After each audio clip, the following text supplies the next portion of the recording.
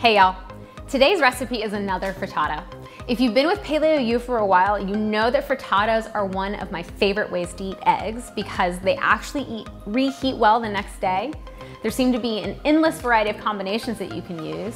They work very well for any meal of the day, and they're a great way to use leftovers from the day before. Okay, let's get cooking this frittata. Start by heating the oven to 425 and lining a baking sheet in foil. Spread the tomatoes and artichoke hearts out on the foil-lined baking sheet. Drizzle with oil and sprinkle with salt and pepper. Roast for 20 minutes. Once the veggies are done roasting, take them out of the oven and let them cool for a couple minutes.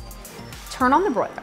While the veggies are cooling, heat a little oil in an oven-proof pan over a medium-low flame. As the oil heats up, add, a, add the slightly cooled veggies to the whisked eggs with a little salt and pepper. Make sure the veggies are fully mixed in. Once the oil is hot in the pan, make sure the pan is coated evenly by the oil by rolling that oil around in the pan.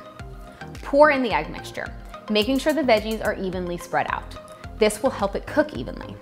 Cook for about five to eight minutes until the edges are firm, but the middle is still jiggly.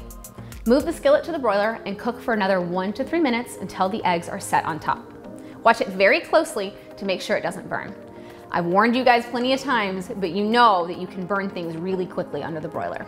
Cool it for at least a few minutes once it's done cooking, and then go ahead and cut it. Enjoy.